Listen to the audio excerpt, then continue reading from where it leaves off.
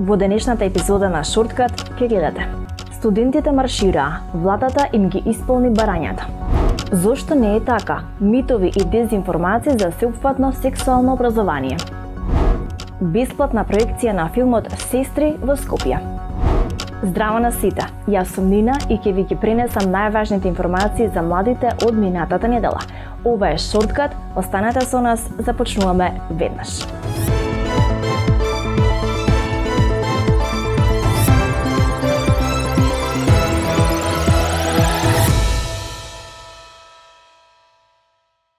На меѓународниот ден на студентите околу 400 млади, претежно студенти, маршираа во Скопје барајки повисок стандард.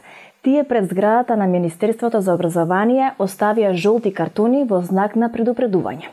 Студентите побараа зголемување на износот на студентскиот оброк, изjednačување на стипендиите за сите студенти, средување на студентските домови и дигитализација на образованието. Студентскиот марш го организира универзитетските студентски собранија на државните и приватните универзитети, движењето студентски отпор, а подршка добија и од дел од средношколците. Иако најпрво беа најавени два поединечни протести, во последен момент студентските организации се договорија заедно да излезат на улица. Едно од главните барања на студентите беше прифатено од страна на владата уште пред да се одржи протестот. Представниците на студентските организации одржаа средба со премиерот и министерот за образование, на кое се договорија студентскиот оброк засега да продолжи да се исплаќа исто како лани по 120 денари од ден за сите студенти. Од 15 март треба да почне да се применува системско решение како што е предвидено со законот.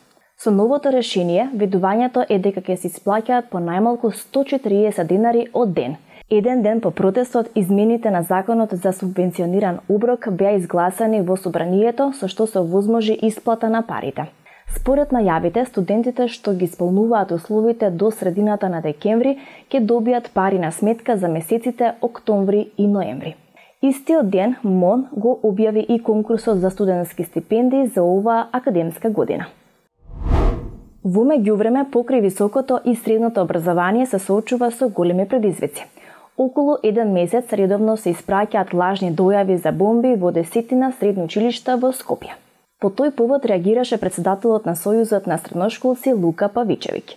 Во интервју за Слободен печат, тој вели дека веќе е нарушено менталното здравје кај учениците поради тензијата од дојавите за бомби. Не само што се губи настава, се создава тензија, нарушено менталното здравје, создава стрес кај учениците.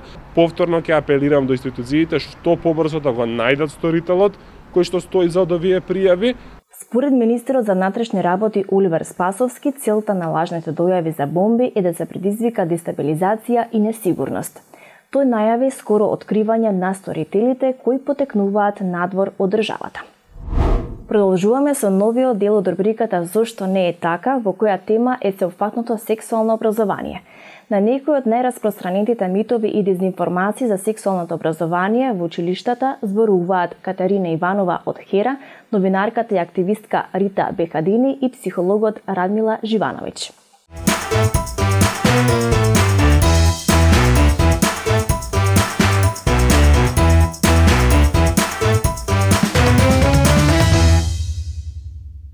На часовите по сеопфатно сексуално образование се учи за секс.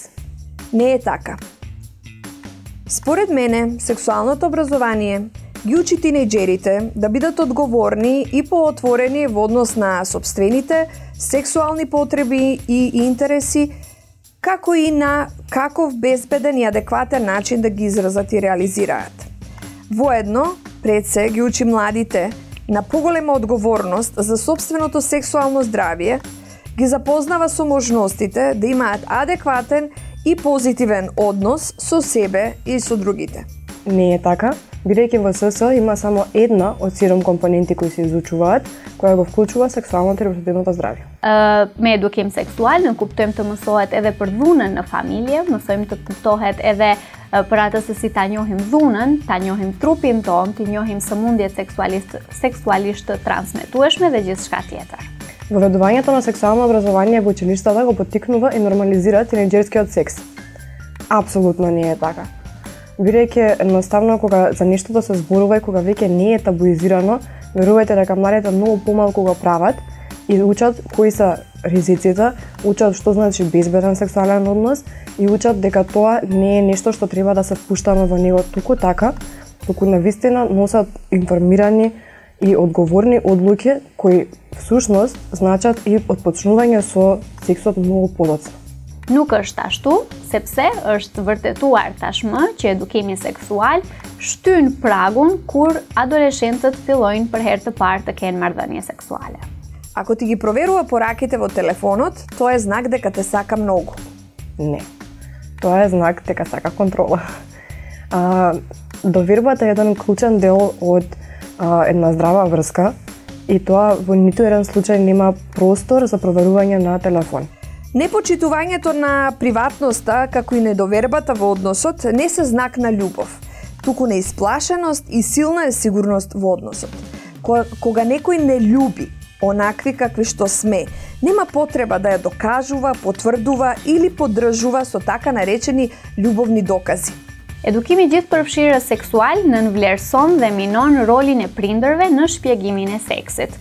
Nuk është ashtu, sepse jemi një zinxhir, prindërit dhe mësuesit së bashku ju mësojnë nxënësve duhet të paktën të ju mësojnë nxënësve dhe fëmijëve ta njohin trupin e tyre, ta njohin ti njohin sëmundjet seksualisht të transmetueshme, të njohin fizionominë e trupit të tyre dhe gjithçka tjetër.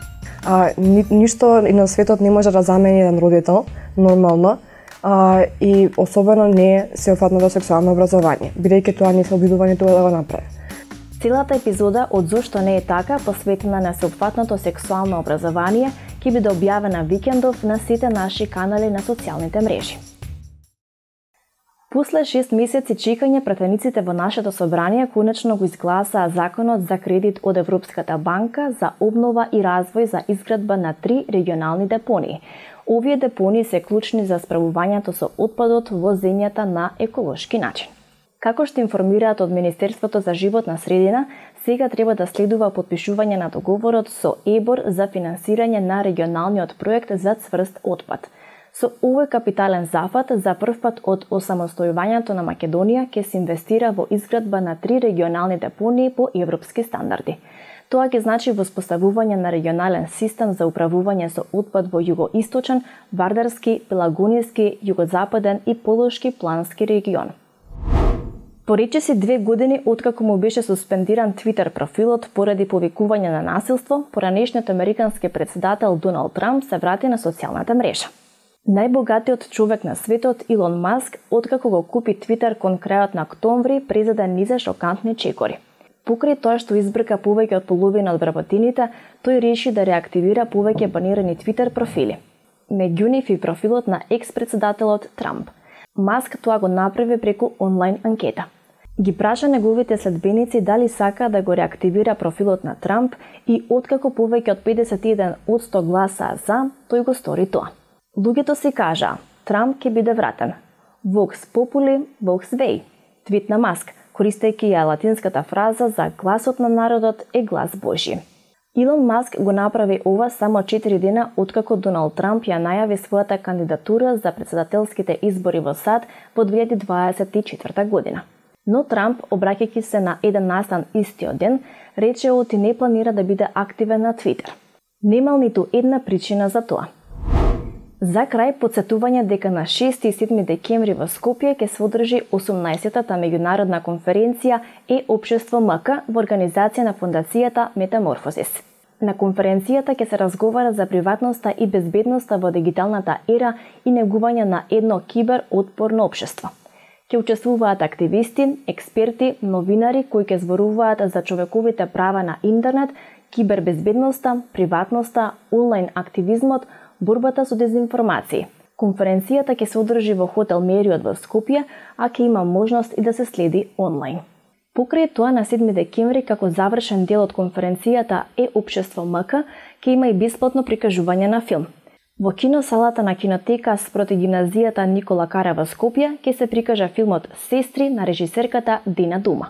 Филмот е на тема сајбер насилство меѓу младите, а по проекцијата ќе има и дебата. На дебатата ќе присуствува самата режисерка на филмот Сестри, Дина Дума. Задолжително обезбедете си бесплатен билет за проекцијата на филмот и панел дискусијата со пополнување на прашалникот на линкот од овој QR код или директно на нашиот Facebook настан. Тоа е се за денешниот шорткат. Пишете ни на Instagram и TikTok и читете рубриката CTRLZ на МТМК. Се гледаме следната недела во истото време. Чао!